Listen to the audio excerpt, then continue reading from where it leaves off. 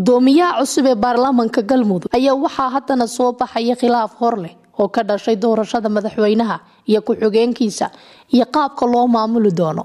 Ururka ahlu sunna oo dowladda soomaaliya ay dhowr jeer isku khilaafeen hanaanka doorashada galmudug ayaa waxaa xildhibaanadu ay soo xuleen. Doorashada galmudug ayaa xildhibaanadii ay soo xuleen ee ka tirsan baarlamaanka cusub ee galmudug.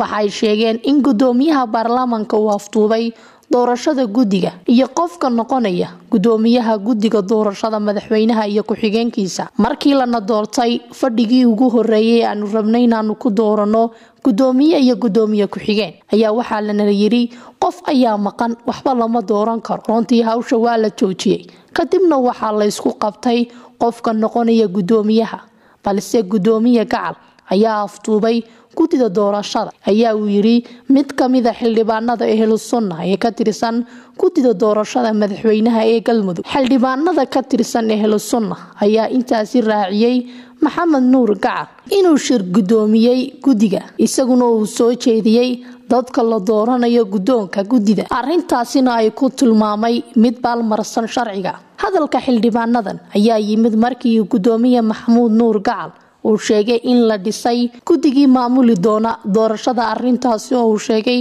inay ansax yihiin. Baarlamaanka cusub ee galmudug gudoomiye gacal oo ka hadlay magaalada dhuusamareeb ayaa musharaxiinta ugu baaqay inay ku diyaargaroobaan tobanka maalmood ee soo socda.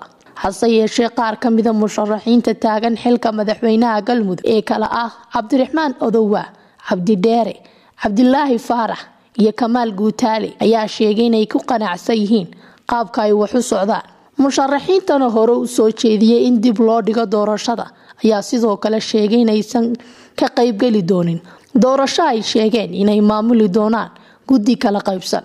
Waxayna dowladda federaalka ay ku eedeeyeen inay faragelin ku hayso hanaanka doorashada ee galmudug.